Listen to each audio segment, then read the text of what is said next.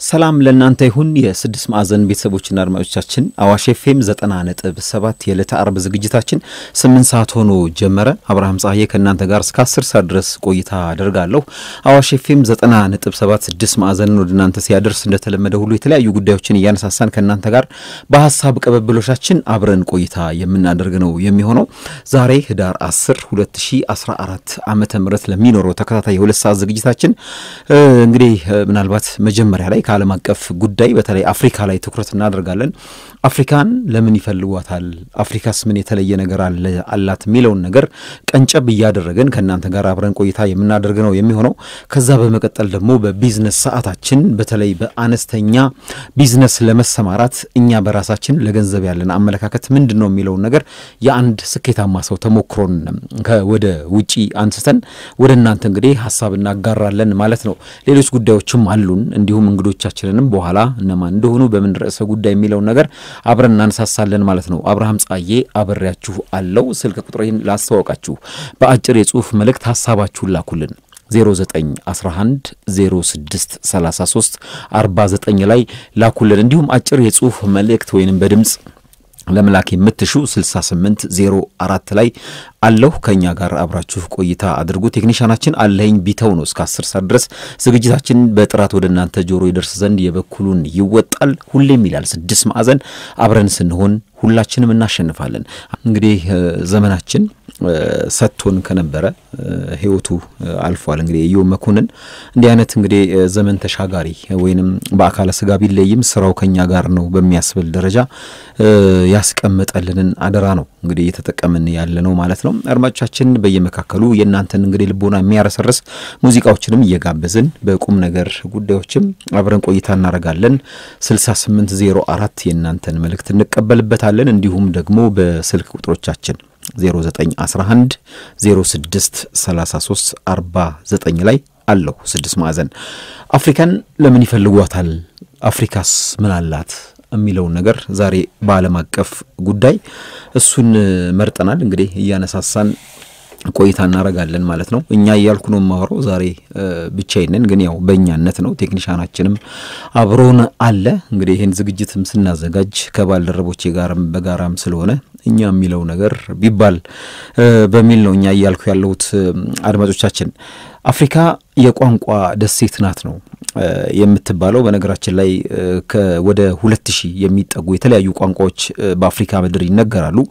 ይህም ማለት እንግዲህ ቋንቋ ምንለን እንዲሁ ከመናገር ባሻገር በዛ ቋንቋ ውስጥ የሚናገሩ የሚነገሩ ዘዬዎች፣ የሚነገሩ ታሪኮች የሚነገሩ የዘመኑ ስልጣኔዎች በራሱ ምን አለ ተብሎ ወደ ኋላ እንዲፈለግ እንዲታሰስ ሁሉ ምክንያት ይሆናልና ዓለም ቋንቋ የሚያስፈልጋት ወይንም ቋንቋዎች በራሳቸው እንዲጠበቁ ምክንያት ከሚሆንባቸው ነገሮች አንዱ ራሱ ቋንቋን ማወቅ በዛ በቀደመው ዘመን የሚነገሩት ንግግሮችን ተከትሎ እንዲህ አይነት ነገር ነበረ፣ ያም ሊኖር ይችላል ብሎ ለመፈለግ ምክንያት ሊሆን ስለሚችል ነው።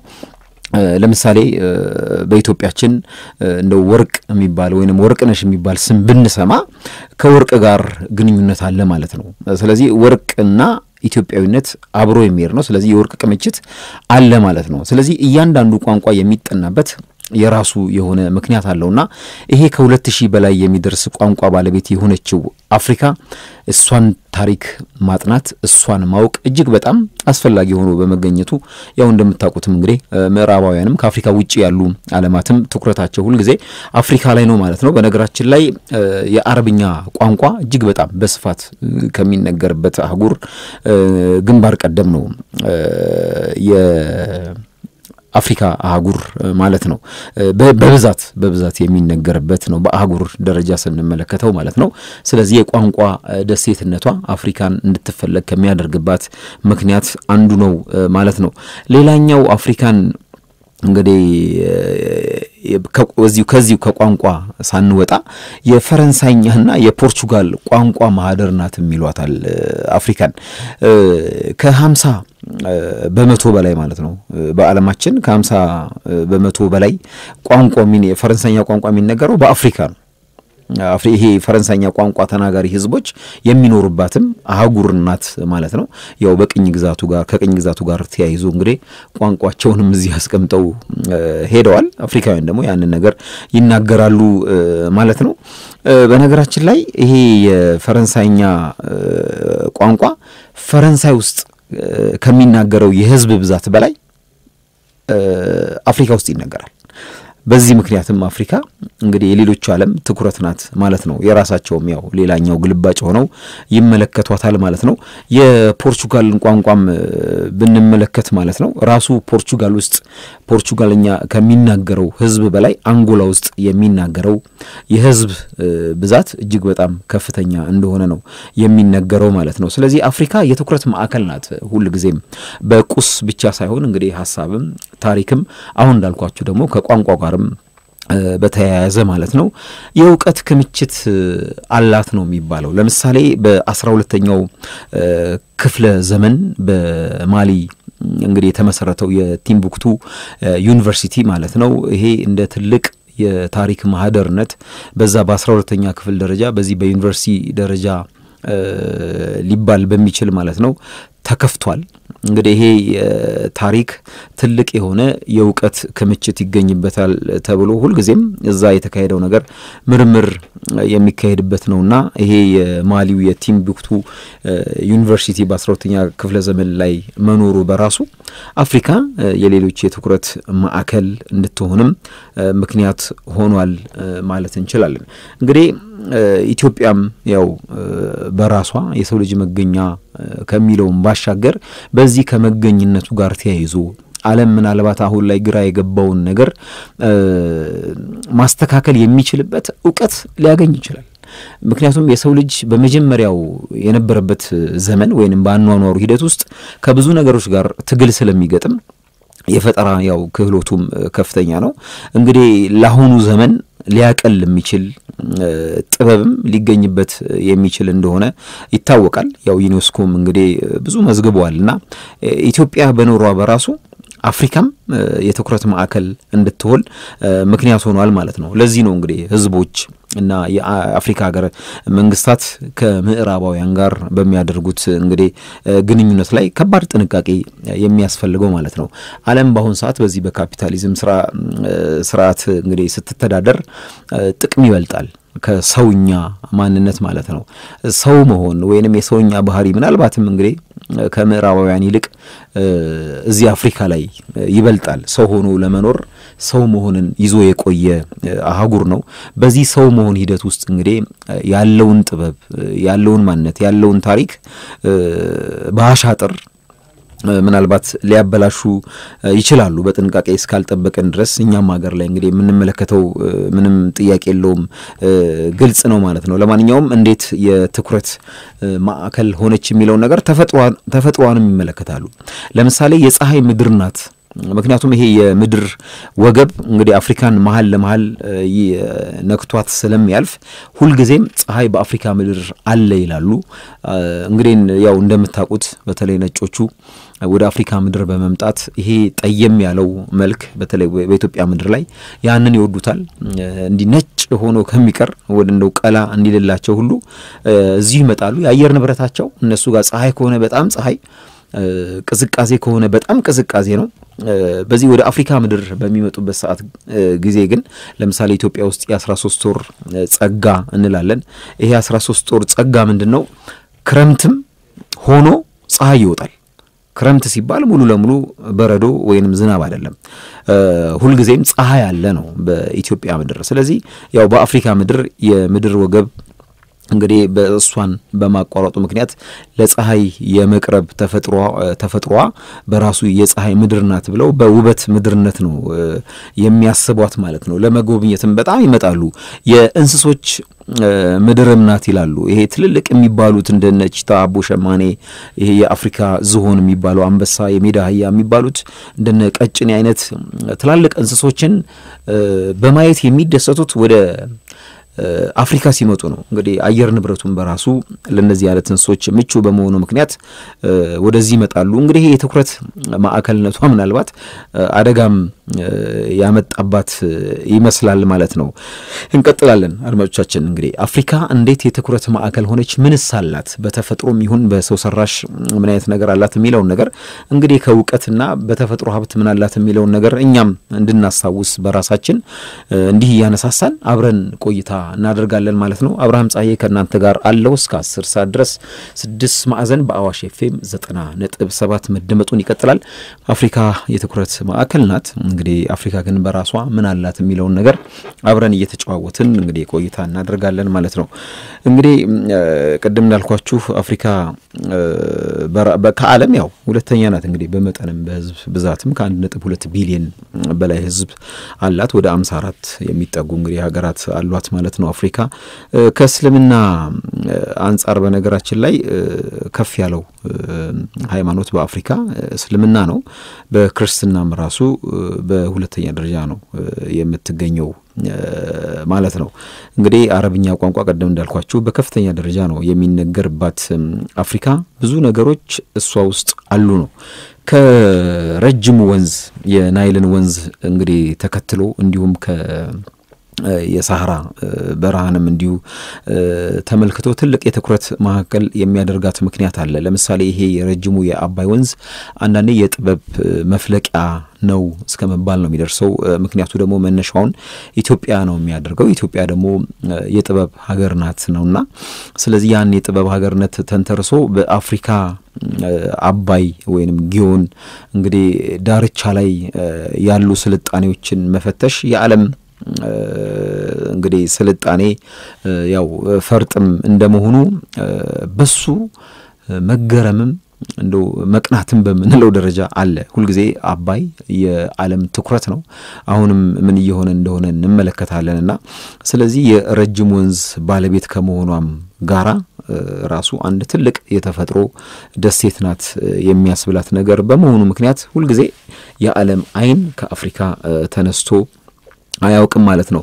እንደው የመተንፈሻ ምድር ነው ይሏታል። ከመዝናናት አንጻር ወደዚህ ይመጣሉ። የአባይ ፏፏቴ እኛ አለን፣ ግን ደግሞ ይሄ ትልቁ የቪክቶሪያ ሐይቅ ፏፏቴም አፍሪካ ነው የሚገኘው በዚህ በዛምቢያ በዚምባብዌና በዛምቢያ እንግዲህ ድንበር መካከል ማለት ነው። ወደ 355 ጫማ እንግዲህ የሚፈሰው ይሄ ትልቅ ፏፏቴ ምንም እንግዲህ ዓለም ወይንም ምዕራባውያን በተለይ ወደዚህ ምድር በሚመጡበት ሰዓት ለአፍሪካ እንደው ተለይቶ የተሰጣት ያህል ነው የሚመለከቱትና የዓለም መተንፈሻዋ በዚህ በአፍሪካ በኩል ነው ብለውም አንዳንድ ጊዜ ያው ይቀልዳሉ ማለት ነው። የረጅሙና የትልቁ እንስሳ መዋያ ቅድም ካልኳችሁም አንጻር እንግዲህ በተለይ የአፍሪካ ዝሆንና የቀጭኔ ግዝፈት ሁልጊዜ ነው የሚገርማቸው ያው ከራሳቸው ሀገር እንስሶችም ጋር በማገናኘት ማለት ነው እና ከዚህ አንጻር አፍሪካም የትልልቅ እንግዲህ እንስሶች የጫካ እንስሳ እንትን ነው ብለው ነው የሚያምኑት እንግዲህ ደሴት ናት ብለው ነው የሚያምኑትና ከዚህ አንጻር ያው ትልቅ የሆነ ትኩረት አለ ማለት ነው። አፍሪካ እንዲህ ናት። በእርግጥ እንግዲህ አስገራሚ ነገሯ ይሄ ሆኖ ሳለ ድሮነት አሁንም አልለቀቃትም ይላሉ። ታሪክን ከማስቀመጥ የታሪክ ማህደራነቷ የድሮን ባህል በተለይ ከሁለት ሺህ ቋንቋ በላይ ይነገራል ብዬ ስነግራችሁ እንደውም ከቅኝ ግዛት በፊት ከዚህ በላይ እጅግ በጣም በርካታ ቋንቋዎች ይነገሩ እንደነበረ እና ያንንም በማጥፋታቸው የሚቆጫቸውም ይመስላል አንዳንድ ጊዜ። ምክንያቱም ቋንቋን ተከትሎ ወደኋላ በማጥናት በዛ ምድር ለሰው ልጅ የሚጠቅም ወይንም ለዓለም እነሱ ለራሳቸው ቢሆንም ምን አለ የሚለውን እንግዲህ ፈትሾ ለማግኘት ትልቅ አስተዋጽኦ ያደርጋል።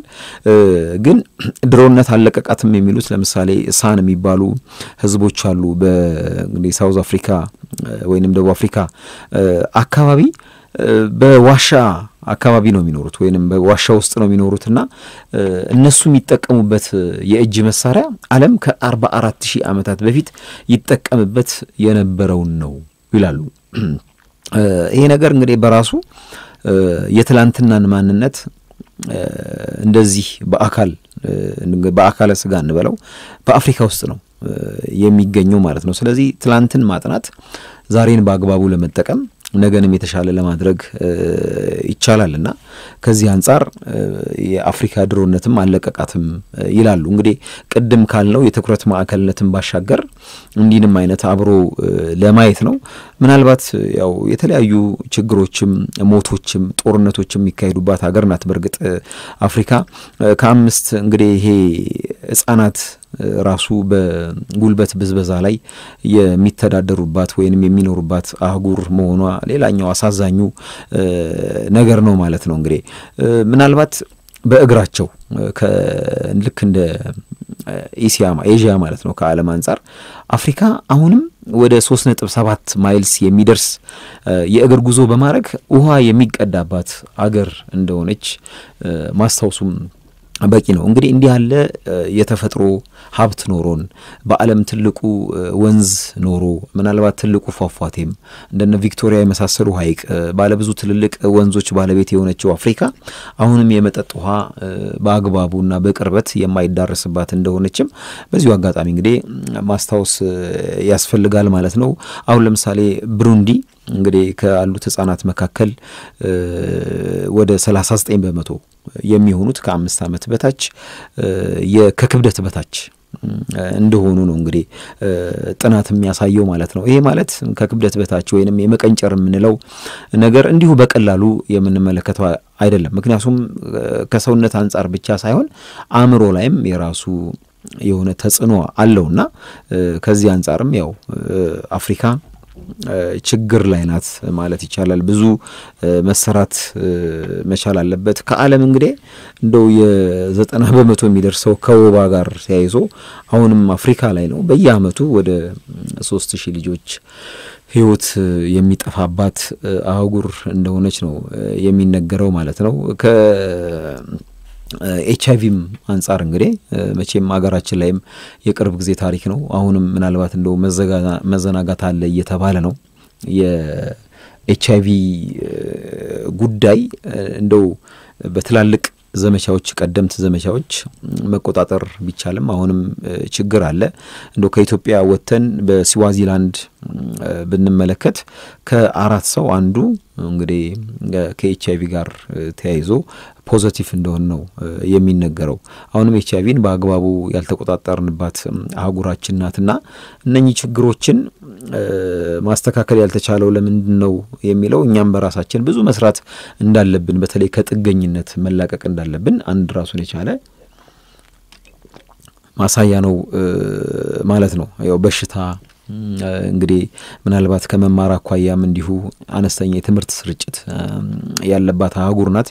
የትምህርት ስርጭታችን ከራሳችን ወይንም በራሳችን ሳይሆን የውጭዎቹን እንግዲህ የትምህርት ስርዓት ወስደን እየተማርን መሆኑ አንድ ራሱን የቻለ አሉታዊ ጎን ቢኖረውም መቼም ማንበብና መጻፉና ሌሎች እውቀቶችን የዓለም እውቀቶችን ከማከማቸት አንጻር አሁንም ትምህርትን ተደራሽ ማድረጉ ላይ አነስ ያለ እንቅስቃሴዎች ናቸው ያሉት። ግን አፍሪካ በራሷ ልትቆም መቻል አለባት።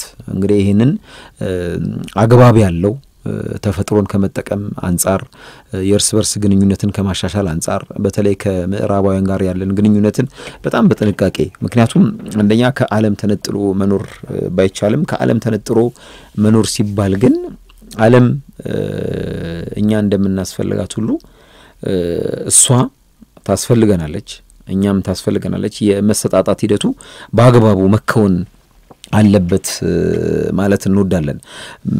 ስለዚህ ከዚህ አንጻር ብዙ ማስተካከል ያለብን ጉዳዮች አሉ። አፍሪካና ምዕራባውያን እንግዲህ የምናደርገው ድርድር የምናደርገው ስምምነት እጅግ በጣም ጥንቃቄ የተሞላበት ሊሆን ይገባል። ምክንያቱም በጊዜ አጋጣሚ ያላቸውን ጉልበተኝነት እኛ ላይ ሲጭኑ ድርድር ላይም የማስገደድ ጉዳዮች አሉና እነኚህን ለዚህ ነው የአፍሪካን የጋራ መንግስት የጋራ የምጣኔ ሀብት ጉዳዮችን መስራት ፖለቲካዊ ጉዳዮችን በጋራ አብሮ ጠንከር ባሉ በየሪጅኑ ማለት ነው የምስራቅ አፍሪካ፣ መካከለኛው፣ የምዕራብ፣ የሰሜን የደቡብ እያሉ ካልተሰራ በስተቀር እጅግ በጣም አስቸጋሪ ሊሆን ይችላል ማለት ነው። አፍሪካ ቅድም እንደጠቀስኩላችሁ እጅግ በጣም ትላልቅ የተፈጥሮ ሀብት ያላት እንዲሁም የህዝብ ብዛቱም በራሱ እንግዲህ ከተሰራበት ሀብት መሆን የሚችል ነው። ወደ አንድ ነጥብ ሁለት ቢሊየን በላይ ሃምሳ አራት ሀገሮች ያላት ከተፈጥሮም አንጻር እንግዲህ ቅድም እንዳልነው የፀሐይ አህጉር ናት፣ እንዲሁም የውሃ ምድር ናት። ለምሳሌ ኢትዮጵያን በራሷ ብንመለከት አሁን the roof of Africa ነው የምትባለው የአፍሪካ ጣሪያ የምትባልበት እንግዲህ ያላት ትልልቅ ተራሮች ናቸው። እነኚህ ተራሮችን በአግባቡ አስተካክሎ እንግዲህ የቱሪዝም እንቅስቃሴም በአግባቡ ገቢ ሊያስገኝ በሚችል መሆን እንዳለበትም የምናየው ነው። ጦርነት ነክ ጉዳዮች ለምሳሌ ማሊ ላይ የተካሄደው አምስት ሚሊየን ሕዝብ እንግዲህ የሞተበትን ጦርነቶችንም እንዲሁ አስተካክለን ከጦርነት ነጻ የሆነ ቀጣና ማድረግ የሚቻለው በነገራችን ላይ ራሳችን ያነባልም ጣልቃ ገብነት መስራት ስንችል ነው ማለት ነው። የትም ሀገር ላይ ጥቅም እስካለ ድረስ እንግዲህ ከመግባት ወደ ኋላ አይልም ሌላኛው የዓለም አካል። ስለዚህ ራሳችንን መጠበቅ የምንችለው አብዛኛው እንደ ህዝብም በጋራ ሆነን እንደው ፊት ባለመስጠት በአገርኛ ቋንቋችን ፊት ያለመስጠት እየሆነ ያለውን ነገር በጥንቃቄ በመመልከት በተለይ በየኢንተርኔት ውስጥ ያሉት የመረጃ ማስተላለፍ ሂደቶች ኃላፊነት በተሞላበት ከሆነ ብዙ ነገር በራሳችን እናሸንፋለን። ሌሎች የአፍሪካ ሀገራትም ዜጎቻችንንም እንዲሁ እንደ ባዳ ከመመልከት ከሌሎቹ ይልቅ የበለጠ ብናቀርብ አፍሪካዊነት ስሜትን መፍጠር ይቻላል ማለት ነው። ስለዚህ ትኩረት አይደረግብን እንዳንል እንደ አፍሪካ ያለን የተፈጥሮ ሀብት እጅግ በጣም የላቀ ነውና ሌሎች ደግሞ የዚህ ጥረት ያለባቸው ወይንም አይበቃንም በሚል እንግዲህ ምናልባት የመስገብገብ ስሜት ውስጥ ያሉ ትኩረት ማድረግ አይቀርም። ስለዚህ በእውቀት ራስን ማበልጸግ እንዲሁም በአብሮነት እጅ ለእጅ በመያያዝ ራሱ እንደ ሀገርም እንደ አህጉርም አብረን መሄድ እንዳለብን ነው። ምክንያቱም ያለን ነገር እጅግ በጣም ተደላድለን ልንኖርበት የምንችል እንደሆነ አንድ ማሳያ ነው። አፍሪካችንን እያደነቅን ስለ አፍሪካ እያወራን ስለ አፍሪካ እያነሳሳን እንግዲህ ሁልጊዜም ቢሆን በአፍሪካነታችን የምንኮራ የዓለም አንድ እጅግ ምርጥ ክፍል ልንሆን ይገባል ማለት ነው። እየተከታተላችሁ ያላችሁት አዋሽ ዘጠና ነጥብ ሰባት ላይ ነው። አብርሃም ፀሐዬ ከእናንተ ጋር እስከ አስር ሰዓት ድረስ አለው። ሀሳብ አስተያየታችሁን ላኩልን። በሀሳብ ቅብብሎሽ አብረን መቆየት እንችላለን። 6804ም የእናንተን ሀሳብ የምንሰማበት ነው። እንዲሁም ደግሞ በአጭር የጽሁፍ መልእክት ማስተላለፍ ለምትሹ 0911 06 33 49 ስድስት ማዕዘን ሁሌም ይላል። አብረን ስንሆን ሁላችንም እናሸንፋለን። ሀሳብ አስተያየታችሁን እንግዲህ እያደረሳችሁን ነው። የወዲት ደውላ ነበረ እንግዲህ በተለይ ከሀገራዊ ከወቅታዊ ጉዳዮች አንጻር እንግዲህ በተቻለ መጠን ሀገርን ሊጠቅም በሚችል እንግዲህ የተለያዩ ሀሳቦች እያነሳሳን አብሮን አንድ ሊያደርገን በሚችል ልክ ሌሎች ጉዳዮችን ቀነስ አድርጎ እንግዲህ አብዛኛው በጋራ በአንድ አይነት ስለ አንድነት የሚያስብበት ሊሆን ይገባል እና ከዚህ አንጻር ብዙ ሊሰሩ ይገባቸዋል ነው ጋዜጠኞችና ሚዲያዎች የሚል እንግዲህ ገንቢ የሆነ ሀሳብ ነው የሰጠችን። አገር የሚያስፈልጋትን ነገር እንግዲህ የሚያውቁት ዜጎቿ ናቸው።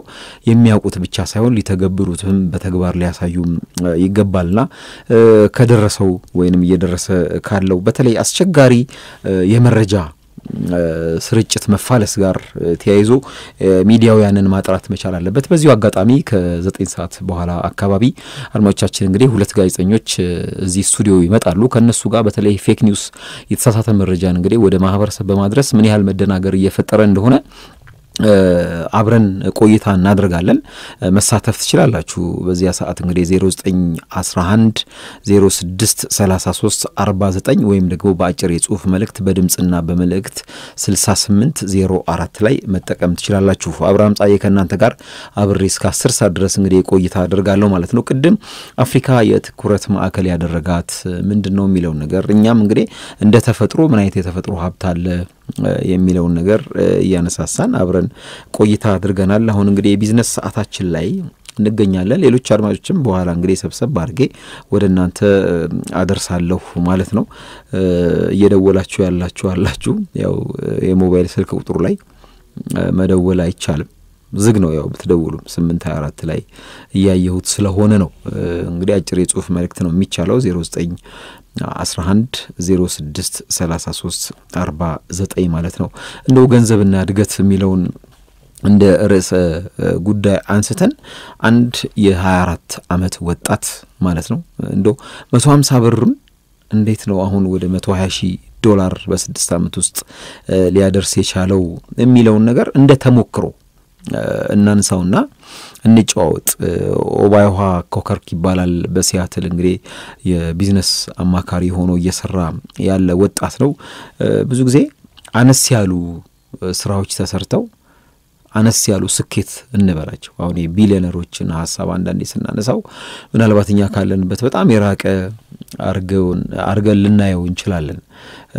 ነገር ግን እስቲ እንደው በአቅማችን እኛስ ልንሰራ አንችልም የሚለውን ነገር ቀረብ እንዲል አድርገን ነው ይህንን የመረጥነው። እንዳልኳችሁ እንግዲህ ኦባይሃ ኮከርክ በሲያትል ያው የቢዝነስ አማካሪ ነው። በአስራ ስምንት ዓመቴ አንድ መቶ ሀምሳ ዶላር ይዤ ነው አሁን ወደ መቶ ሀያ ሺህ ዶላር ካፒታል እንዲኖረኝ ምክንያት የሆነው ብሎ ነው የተናገረው። እንግዲህ በሀያ አራት ዓመቱ ማለት ነው። ስለዚህ ምንድን ነው እሱ ይጠቀምበት የነበረው ስልት የሚለውን ነገር ሲያካፍል ምን አለ? አንድ ሰው በየወሩ የመቆጠብ አቋም ሊኖረው ይገባል የሚለው ምንም አገኙ ምንም ይሁን ምን እንደ ከመቶ ብርም አንድ ብር ሊሆን ይችላል ግን መቆጠብ ራሱ እንደ ባህል ይልና ከሚያገኘው ገንዘብ ላይ 1250 ዶላር ባንክ አስቀምጥ ነበር ብሎ ተሞክሮውን ተናግሯል። ቢዝነሱ ላይ invest ከማድረጋችሁ በፊት ማለት ነው። ምንድን ነው ይሄ ማለት? አሁን ወደ ቢዝነስ ውስጥ ስትገቡ መጀመሪያ ቢዝነስ ውስጥ ከመግባታችሁ በፊት ማድረግ ያለባችሁን ነገር በኋላ ላይ አነሳዋለሁ ግን አንድ ሰው invest እያደረገ ወይም አንድ ስራ አንድ የግል ስራ እየሰራ ካለ መቆጠቡ ትክክል የሚያደርገው ምንድን ነው? ምናልባት የገባችሁት ስራ አደጋ ውስጥ ቢወድቅ ሙሉ ለሙሉ ይዟችሁ እንዳይወድቅና ይሄ ያስቀመጣችሁት ባንክ የዕለት ተዕለት ኑሯችሁን ቤተሰብ ካላችሁም ቤተሰባችሁ ላይ አሉታዊ ተጽዕኖ እንዳይኖረው ነው የመቆጠብ ጉዳዩ የማይነካ ብለን እንደምናስቀምጠው ማለት ነው። ምክንያቱም ብዙ ጊዜ ቢዝነሶች risk ይኖራቸው ወይም አደጋ ይኖራቸዋል። መክሰር ይኖራል። የሆነ የሚያጋጥም ነገር ሊኖር ይችላል እና ሙሉ ለሙሉ የአስቤዛንም ወጪ የቢዝነሱንም ወጪ በጋራ አንድ ቦታ ላይ ማዋል በጣም አስቸጋሪ ነው። እንቁላል እንግዲህ በአንድ ቅርጫት ውስጥ መቀመጥ የለበትም እንደሚባለው ነው። ምክንያቱም ከወደቀ ጠቅላላ ስለሚሰበር ማለት ነው እና አንድም ለቢዝነሳችሁ መጀመሪያ መቆጠብ የሚባለው ከዛ ወደ ቢዝነስ ከተገባ በኋላ ይሄ መቆጠብ የሚባለው ነገር መቋረጥ የለበትም። ይሄ ለቤታችሁ ለግል ወጫችሁ ከምትሰሩት ቢዝነስ ባሻገር እናንተ በአስተማማኝ ወንበር ላይ እንድትቀመጡ ነው። አንዳንድ ጊዜ ቢዝነሱ ላይ ሊደርስ የሚችለው አደጋ ራሳችን ላይ የሚፈጥረው ጭንቀት ቤተሰቤን ወይም ራሴ የምበላውም እስከ ማጣት እደርሳለሁ፣ ለቤት ኪራይ የምከፍለውም ላጣ እችላለሁ የሚለውን ሁሉ አስቸጋሪ እንዳያደርገው ነው። emergency saving ይለዋል እንግዲህ ለአደጋ ጊዜ የሚቆጠብ ቁጠባ እንደ ልምድ ልናደርገው ይገባል ብሎ ነው የሚመክረው ማለት ነው ኦባይሃ ኮከርክ። ሌላው በትንሹ invest አድርጉ ነው መዋለ ንዋይ የምንለው ወይም ገንዘባችሁን አንድ ስራ ለመስራት በምታቅዱበት ጊዜ ሙሉ ለሙሉ ያላችሁን ወይንም ከትልቁ አትጀምሩ። በትንሹ ኢንቨስት አድርጉ ነው። አብዛኛው ሰው ስራ ለመጀመር ገንዘብ የለኝም ሲል ቅሬታውን ያቀርባል። ገንዘብ ያለን ገንዘብን መሰረት አድርገን ትንሽም ትሁን ትልቅ፣ ትንሽ ከሆነ እንደ ትንሽነቱ፣ ትልቅም ገንዘብ ካለን እንግዲህ ከዛ ላይ ቀንሰን በትንሹ ኢንቨስት ማድረግ ይቻላል ነው የሚለው። ምናልባት በእኛ ሀገር ብናመጣው አንድ የሶስት ሺህ ሶስት ሺህ ብር ያለው ሰው ስራ ልጀምር ቢል ምናልባት የተወሰነ አትክልት መሸጥ ሊሆን ይችላል። እንደው እንደ ምሳሌ ነው የማነሳው። በዛ እያደገ መሄድ ይችላል ማለት ነው። ግን ምን አይነት ስራ መምረጥ አለበት የሚለውን ነገር ራሱም ይመክራል። አሁን እኔ አትክልት አልኳችሁ እንጂ እሱ የሚናገረው ነገር ባለን መጠን ይላል ባለን የገንዘብ መጠን ጥናት አድርገን ስራ ልንጀምር እንችላለን ይላል። ግን በምናውቀው ላይ ቢሆን ይመረጣል ነው የሚለው። በምናውቀው ስራ፣ በምናውቀው ሙያ ምናልባት እንደሆነ የዚህ ሬዲዮ ጣቢያ ላይ ቴክኒሻን በሆን በዚህ በቴክኒሻን እውቀቴ ጎን ለጎን የሚሰሩ የቴክኒክ ስራዎች ሊኖሩ ይችላሉ። ምናልባት production መስራት ሊሆን ይችላል። እንደው የሰርግም ቪዲዮ ቀረጻዎች ሊሆኑ ይችላሉ። አሁን ደግሞ ጥሩ የሆነ ነገር እንግዲህ የዩቲዩብ ስራዎችም ሊሆኑ ይችላሉ እና እነኝን ለመስራት ሳይሆን እኔ ይሄንን መስራት የማልችለው ለምንድን ነው ብለን ራሳችንን ብንጠይቅ አንዳንድ ጊዜ መልስ እናጣለን ነው የሚባለው። ስለዚህ በምናውቀው ላይ ብንሰራ መልካም ነው። በተለይ በሚዲያ የሚጮህላቸው ቢዝነሶችን ተጠንቀቋቸው ብሎ ነው የሚናገረው። እነሱ አንዳንድ ጊዜ የራሳቸው ንግድ ፈላጊ ስለሆኑ እነኚህ እንዲህ አይነት ስራዎች መጥተዋል፣ እንደዚህ ተሳተፉ፣ እንደዚህ ግቡ የሚለው ማስታወቂያ ላይ በጥንቃቄ ተመልከቱ። አንዳንድ ጊዜ እንደው ስሜት ይነሳሳና ዘው ብሎ ይገባል። ከዛ በኋላ ያ ስራ እስከሚጀመር ወይ አራት አምስት ዓመት ሊቆይ ይችላል። በዚህ ውስጥ እንግዲህ ትልቅ መክሰር ያጋጥማል። ስለዚህ በምናውቀው ላይ ሰዎችን በመጠየቅ በዛ ላይ የተሳተፉትን የጎደንን በማሟላት ብንሳተፍ ጥሩ የሆነ የአዋጭነት ያለው ቢዝነስ ውስጥ በቀላሉ መግባት እንችላለን ማለት ነው። ይሄ ነው እንግዲህ ትልቁ የቢዝነስ እንቅስቃሴ ምን መሆን አለበት የሚለውን ነገር ለመምከር የሚፈልገው ኦባይሃ ኮከርክ ማለት ነው። እንግዲህ ምናልባት አንድ ከዚህ ከታክሲ አገልግሎት ከመስጠት ጋር ተያይዞ አንድ ድርጅት ወደ ሀገራችን መጥቷል አስታውሳለሁ። ይሄ ድርጅት እንግዲህ ተመዝገቦ ይህን ያህል በመቶ ክፈሉና ቀሪውን ደግሞ ከባንክ ጋር አብራችሁ ትሰራላችሁ የሚል ትልልቅ ማስታወቂያ አስነገረ። ያው አብዛኛው እንግዲህ የስራ ፈላጊም ገንዘቡን አስይዞ ገባ።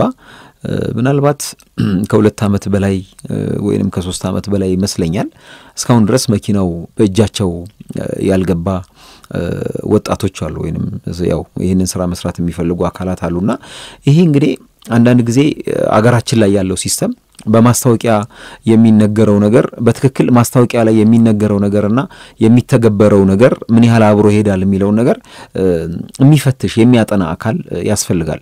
ለዚህ ነው ብዙዎች በሚዲያ የሚነገረውን ነገር ያምናሉ። ያንን ተከትለው ገንዘባቸውን ያወጣሉ። ገንዘባቸውን ካወጡ በኋላ ግን እንዳሰቡት አልሆን ይላል። በኋላ እንግዲህ ያው መጓተት፣ መካሰስ የምንላቸው ነገሮች አሉ። ወደ ንግድ ዓለም ለመግባት ብቻ ሳይሆን እንደው ለመጠቀም ከመኖሪያ ቤት አንጻር ሊሆን ይችላል። ሌሎች አይነት የተለያዩ እንግዲህ አክሲዮንም መግዛት ሊሆን ይችላልና ከተገባ በኋላ ትልቅ የሆነ እንግዲህ ለቅሶ ነው አንዳንድ የሚሰማው። ስለዚህ ያ አካል ያለውን ነገር በትክክል መፈጸሙን መንግስት ራሱ ሕዝብ መጠበቅ ራሱ አንድ ራሱን የቻለ ኃላፊነት ስላለበት መንግስትም እነኚህ አካላት የሚሉትን ያህል እየሰሩ ነው ወይ የሚለውን ነገር መከታተል ያስፈልጋል። እንዳልኳችሁ የኢትዮጵያ ሕዝብ አብዛኛው የዓለም ሕዝብም ሚዲያን ያምናል። በሚዲያ ውስጥ የሚናገረው አንድ እሱን የመሰለ ሰው አይመስለው። ስለዚህ ይሄ ሚዲያን የሚያምን ማህበረሰብ ጥሩ ነው፣ የሚነገረውን መስማት ነው በሌላ ቋንቋ። አብሮ ደግሞ የተለያዩ አሁን በተለይ ኢንተርኔቱን ተከትሎ እየመጡ ያሉ የተሳሳቱ መረጃዎችንም አብሮ በማመን ስህተት ውስጥ መውደቅ አለ። ስለዚህ ሚዲያውን የሚያምን ማህበረሰብ ያመነው ነገር በራሱ ልክ ነው ወይ የሚለውን ነገር ማሰብ ያስፈልጋል። ይህን ነገር እንግዲህ ጥበቃ ሊደረግላቸው ይገባል ማለት ነው ዜጎች። ምክንያቱም እንዳልኳችሁ ነው እያወጡት ያለው ገንዘብ ዞሮ ዞሮ የዜጎች ገንዘብ ነው። እነኚህ ተቋማት በትክክል ያሉት ነገርን እየተገበሩ ስለመሆኑ ክትትል ሊያደርጉ ይገባል። ከሆነ በኋላ ፍርድ ቤት አካባቢ እንቅስቃሴ ማድረግ ወይንም እርምጃ ተወሰደበት ማለቱ እምብዛም የሚጠቅም ነው ብዬ አላምንም። እና ከዚህ አንጻር እንግዲህ ለማውራት ያህል ነው። እንግዲህ ይሄ የአራት ዓመት ኦባይዋ ኮከርክ የሚባለው እንግዲህ የቢዝነስማን ከወጪ አንጻርም የሚመክረው አለ። ወጪን ማዘግየት ይገባል ብሎ ነው የሚናገረው።